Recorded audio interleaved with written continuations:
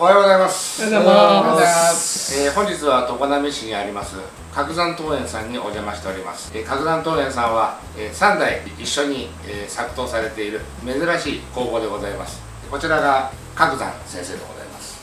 よろしくお願いしこちらが広報先生でございます。こんにちは。そしてそちらにいらっしゃるのが新進気鋭の作家匠さんでございます。よろしくお願いします。ます。本日は何卒よろしくお願い申し上げます。お願いしよろしくお願いしま。ます角田さんの蜂のなんか特徴とかをちょっと教えていただきたいんですけども、特徴？特徴。おおすごい。特徴はね結構ねまっすぐピシッとしたラインが好きでまあここにもねやったように綺麗に帯を見せるそれでもねやっぱり手作りですから微妙にね線はまっすぐじゃないうんよく見おお。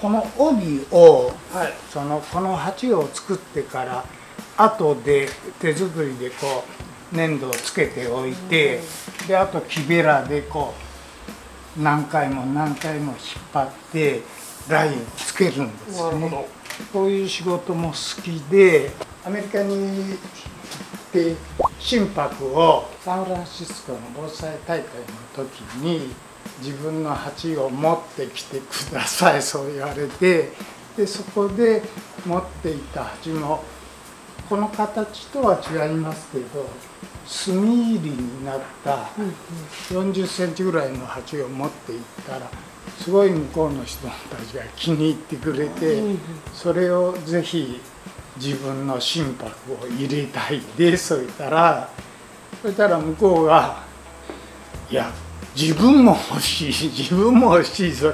じゃあじゃんけんでまあ一応ここにあるものは持って帰るも大変ですからそれでここで置いてきてでその後もう一枚同じような形のものをアメリカへ作ってね送りました。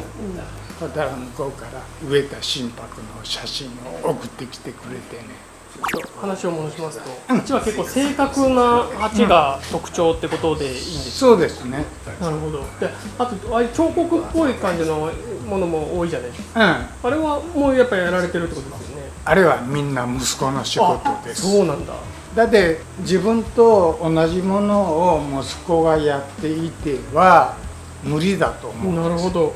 でそれぞれのね息子さんのこのやっぱ違いがそこである。そうですおーやっぱりね息子は親の背中見てああこういうことも自分の技術を磨けばやれるじゃないかと思って試行錯誤しながらやって、まあ、うちのところへも日本での盆栽大会の時に外国のお客さんがあの結構来てくれますよね。でその時に自分が買って持って帰るにあんな大きな鉢は持って帰れないよね、でああいう小さい鉢とかまあそっちに並べてあるような釉薬の鉢とかそういうものを皆さんが自分のあの盆栽植えたりあと趣味で一つせっかく日本に来ただで買っておこうそそういうふうな仕事をやっていけばまあ代々受け継がれるけれるじゃないかなそのとあこれ途中のや焼く前役前の。そうそうすごい。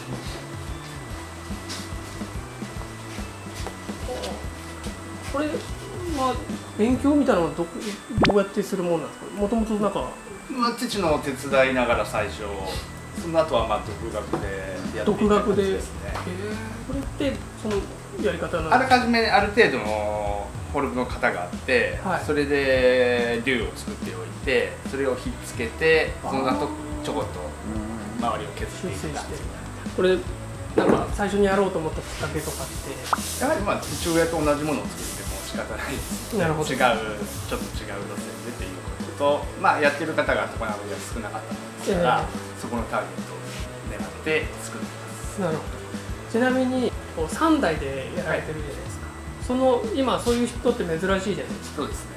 なんでそうなったのかっていうのを自分の中ではどう捉えてらっしゃるのかなっていうまあ、やっぱりなかなかこのね伝統産業というのは難しい世界ですので、はい。若い子がやっぱり新しいね今時の仕事とか、はい。いろいろ仕事もありますのでね。まあ、そちらに向かっていくっていうのがネックになりますね、まあ、だってね自分たちが頑張って若い子がねああいうのをやりたいっていう風になっていくように今頑張ってますね。息子から見て父の仕事を見てあ自分もやってみたいっていうふうに思ったっていうのが続いたっていうことになるんですか、は素晴らしい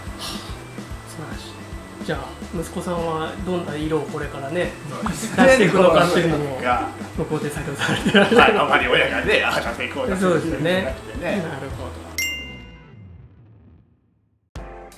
これが北谷さんが依頼を受けて作ってる。そうそう。あ80センチの丸でもう根がギリギリ。内寸がね多分焼いて70センチとここが60セン60チセンチ。の注文。で高さがだいたい20センチぐらいの大きさで龍一君と頑張ってやってみようかそういうことなるほど。で始めました。本人まだこれ見てないですか？この形。いつか LINE で送っとるよあ送ってますか？LINE でね。これが北谷さんのこの盆栽に。そうそうそう。入るそうです。ここの角度はこんな感じでいかが？そいで。はいねあでも違いますね。この曲線状にななってますねこここっちの方がいいと。そうそうそう。でこれを順番に仕上げていくと最終的にはこういうふうに仕上げれるうんなるほこれちゃんとね針金穴もご要望の焼き上げ5ミリ。ちょっと小さいかな龍二君5ミリ入らんぞだいたいこれが5ミリぐらい。ど5ミリぐらいでもこういうあの盆栽鉢はねあの乾いてくる時に収縮もするでしょう、はい。そうするとその時にね形もね微妙に変わるえ。ーこの反り具合が初めに私が図面で描いたやつを龍一君に送ったってでもうちょっと反った形がいいかそこまで反らん方がいいかそういろいろ話をしながら。でこの中が乾いてない乾かない。触ってみようこの新聞紙。だからとうとょっとしとうとして。しとうとしているのが急に乾かないし、うん。いう感じだから季節によってもいろいろ変わってくるんですよねじゃあ。今から一番暑い時だけ乾かすのが一番大変で変形しないように乾かさなければいけませんから最低でも50日から60日ぐらいかけてゆっくり乾かしますね、でなぜこれがこうやって上に板のしてあるかそうと、うん。品物が乾いてくるときにこういうふうに弓なりに乾いちゃそ反ってきちゃう。うそうそう。でそれをゆっくり乾かすと弓ができるだけ少なくうん。なる、で上が負けんようにちょっと重しのしたりとかね。うんでゆっくりゆっくり乾かしてやる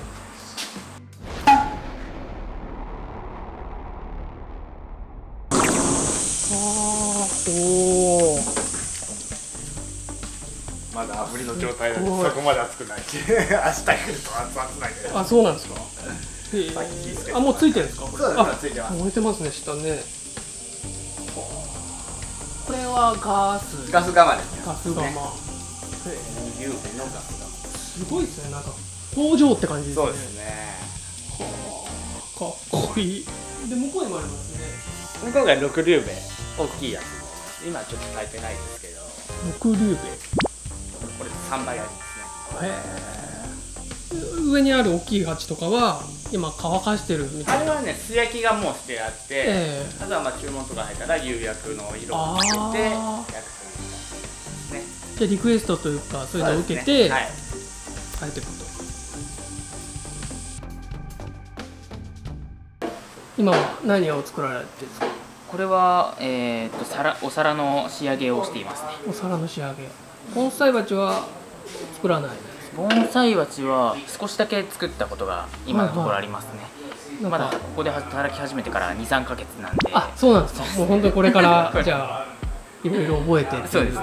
うん普通のやっぱお皿とかに比べて盆栽鉢の方が難しいんですか？その技術的にやっぱり。そうですね。やっぱり気をつけるポイントが盆栽鉢水はけだとかえいろいろあるのでそこを覚えながらえなるほど。また形にもこだわりながらそうですよね。そういうところが難しいんで。結構おじいちゃんもお父さんも結構すごいの作ってるじゃないですか。そうですね。プレッシャーもあるんですかね？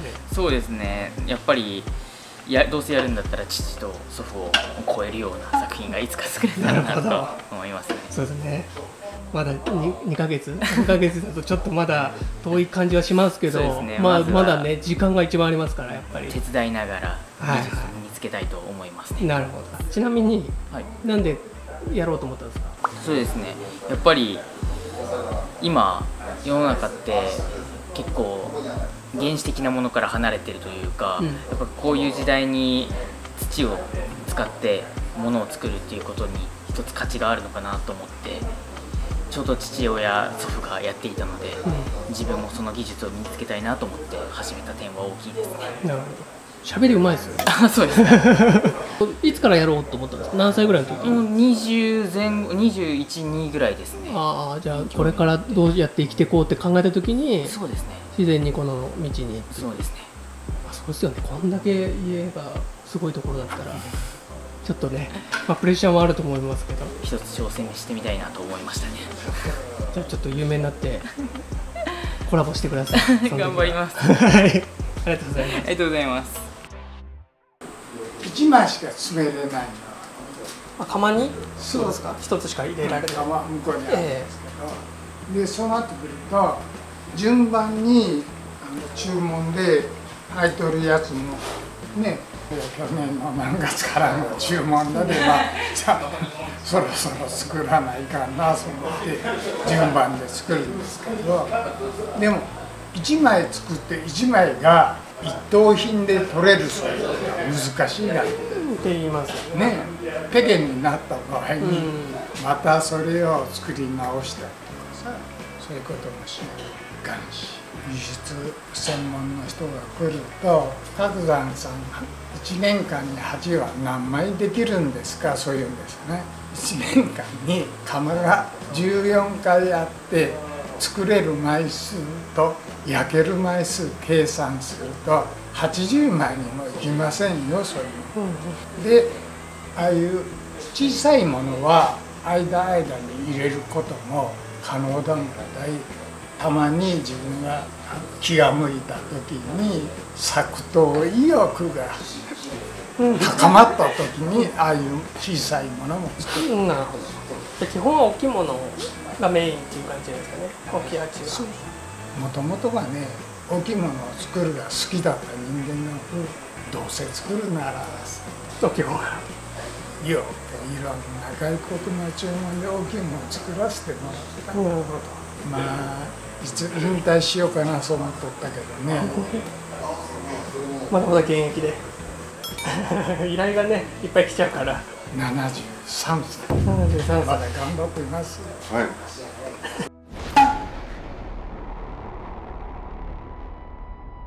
本日はありがとうございました。ありがとうございましあた。本当にね常鍋でも数少ない親子3代でうん。